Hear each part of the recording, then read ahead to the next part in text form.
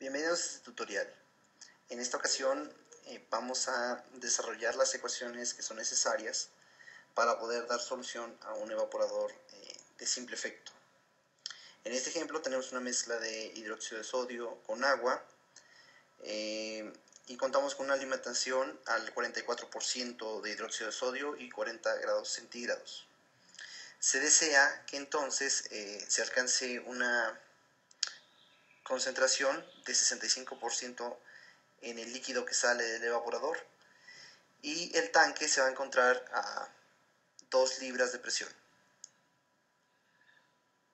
Ahora, em, se sabe que se va a utilizar un vapor de 4 atmósferas, un vapor saturado de 4 atmósferas para poder calentar el, em, el evaporador y además eh, se cuenta ya con un área de 232 metros cuadrados y su coeficiente global de transferencia es de 2000 watts por metro cuadrado Kelvin. Bueno, para eh, desarrollar las ecuaciones que representan este proceso, bueno, pues es necesario hacer el balance global. El balance global sería la alimentación F igual al flujo de líquido más el flujo de vapor el balance por componente, que sería el flujo de entrada por la, con la, por la eh, fracción de entrada, que es igual a el flujo de salida en L por la fracción en L. No se presenta aquí el valor de V por la fracción en, el vapor porque asumimos que en el vapor eh, solamente tenemos agua, entonces el soluto no, no se va a presentar en en la salida de vapor. Bueno, la siguiente ecuación sería eh, el balance de energía. Lo que tendríamos sería el flujo de entrada por la entalpía de entrada más el calor eh, como entradas y esto va a ser igual a las salidas que sería el flujo de líquido por la entalpía de líquido más el flujo de vapor por la entalpía de vapor. Eh, la cuarta ecuación sería la ecuación de a partir de la definición del coeficiente global de transferencia, ¿sí? la cual sería que U, Q, perdón, el calor es igual al coeficiente global de transferencia por el área por el delta de temperaturas que sería entre el em, steam o el vapor menos la temperatura que está dentro del tanque. Y por último tendríamos la ecuación que calcula la pérdida de calor que sufre el vapor, lo cual es Q igual al flujo de vapor por el calor latente de vaporización a las condiciones que entra. Bueno, estas cinco ecuaciones deben ser resueltas simultáneamente y el problema eh, quedará resuelto. Ahora, en el diagrama observamos que tenemos eh, muchas incógnitas, pero bueno, no todas son incógnitas. Vamos a diferenciar entre datos desconocidos y, eh, e incógnitas, pues. A ver, dato desconocido, en este momento tenemos la temperatura de la eh, corriente de salida o la temperatura del evaporador. ¿sí? Pero es un dato que podemos conocer a partir de lo que vamos a ver a continuación, que se conoce como gráfica de During. ¿sí? Otro dato desconocido, bueno, eh, pues sería la entalpía también de esa corriente, pero lo podemos calcular a partir de temperatura y presión con tablas de vapor. También tenemos como dato desconocido la entalpía de la alimentación, pero lo podemos calcular con la concentración del hidróxido de sodio y la temperatura a partir de una gráfica concentración contra entalpía. Otro dato desconocido también sería la entalpía del líquido, pero del mismo modo que la de entalpía de alimentación también la podemos estimar con una gráfica. Este dato se repite ahí arriba, la, la misma temperatura será la de líquido y la de vapor. ¿sí?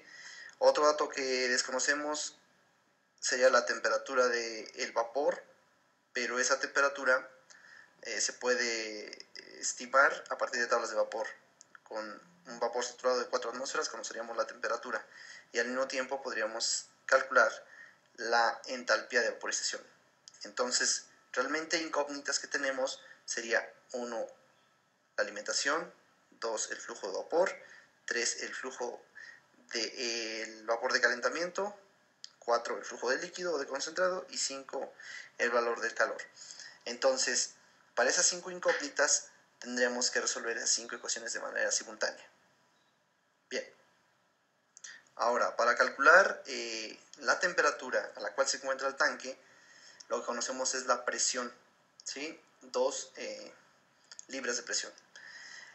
Eh, lo que vemos a continuación es algo que se conoce como la gráfica de During, ¿sí? Y nos va a servir para estimar qué tanto va a aumentar la temperatura en una solución concentrada de hidróxido de sodio.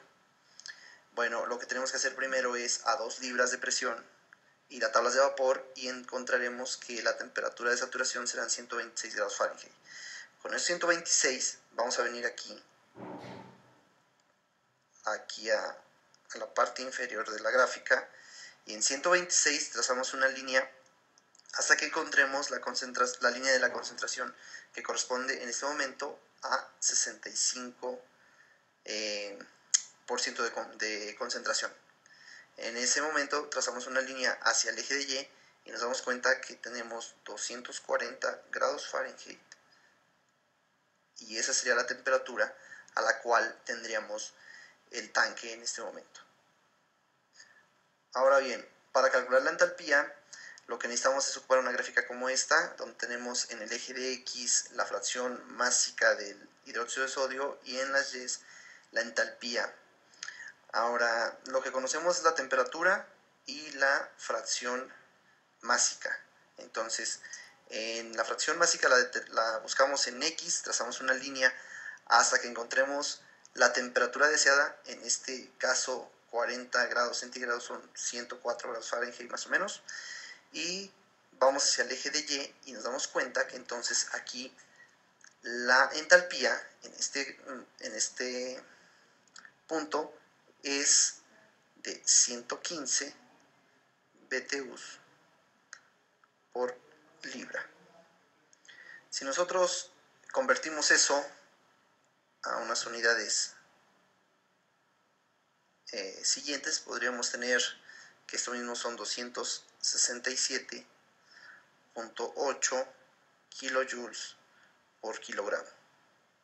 ¿Ok? Ahora, para estimar la entalpía de la fase líquida, lo que necesitamos es la composición, que serían 65%, nuevamente lo buscamos en el eje de X y trazamos una línea hasta encontrar la temperatura de 240 grados Fahrenheit, que es la que habíamos encontrado anteriormente en la gráfica de During. Nos deslizamos hacia eh, el eje de Y y nos vamos a dar cuenta que la entalpía que se encuentra es 340 BTUs por libra. Si nosotros eh, convertimos esta entalpía, bueno, nos va a quedar eh, que tendremos 791.8 kilojoules por kilogramo. Ahora, la información que nos falta sería la entalpía de vapor y eh, esa la podemos determinar a partir de la presión de operación, que serían las dos libras. ¿sí? Eh, la temperatura que habíamos obtenido de la gráfica de Durin y esto nos va a llevar a tener un vapor sobrecalentado. En tablas de vapor con una presión de 2 libras y 240 Fahrenheit obtenemos una entalpía de vapor de 2717 kilojoules por kilogramo. Por último, en el vapor eh, de calentamiento tenemos 4 atmósferas. Eh, podemos ir a tablas de vapor. En un vapor saturado a 4 atmósferas tiene una temperatura de 417.3 Kelvin y una entalpía de vapor o entalpía de vaporización de 2132.3 joules por kilogramo. Ahora, aquí mostramos un resumen entonces de todos los eh, datos que nos faltaran.